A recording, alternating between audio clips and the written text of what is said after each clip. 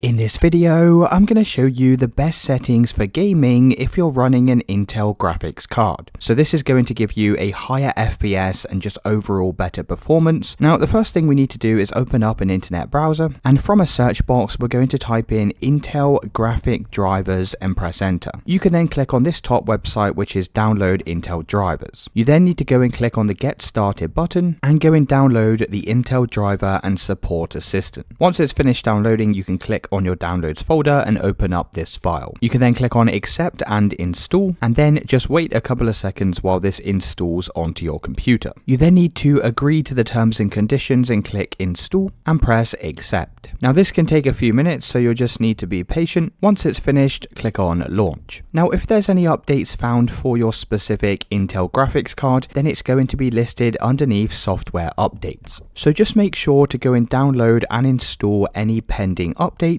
And once you've done this, you can go and close out of this window. Now, the next thing we need to do is go and optimize some of the settings on our computer. So go and open up the start menu and then click on settings. In the left hand side, select gaming and click on game bar. Make sure the game bar is turned off and disabled and come back over to the previous window. You can then click on game mode and you want to make sure this is turned on. You can then click on apps from the left hand side and we're going to click on startup. Now just go through these list of applications and try disabling as many of these as you can. So these are apps that automatically start up when you first turn on your computer, and these can actually cause your computer to run much slower. Now, once you've done that, you can go in, close out of this window. The next thing we need to do is open back up the start menu and search for adjust the appearance and performance of Windows and click on this. Now click on adjust for best performance and then go and check the boxes next to show thumbnails instead of icons, also smooth edges of screen fonts, and then you can press apply and OK. You can then open back up the start menu and search for disk cleanup and click on this tool. Make sure your C drive is selected and press OK. You then need to go and check the boxes next to all of these different items. Once you've selected everything, you can press OK and then press delete files. Now the next thing you'll need to do is open up the start menu and search for Microsoft Store and click on this window. In the search box, type in the word Intel and press search. You then need to make sure you have this app installed, which is the Intel graphics software. So I've already got this installed, so I'm just going to press open. Now from this app, go and click on graphics on the left hand side. Click on the drop down next to frame synchronization and select application choice. Make sure the image sharpening is turned off. And for the 3D rendering, we can go and turn on this feature. Now for the quality, this should be set to 50%. You can then click on display in the left hand side. You can then scroll down to saturation and we're going to increase this to 60%. Now this will give you better better visuals when you're playing your games. For both the brightness and the contrast, make sure these are set to basic.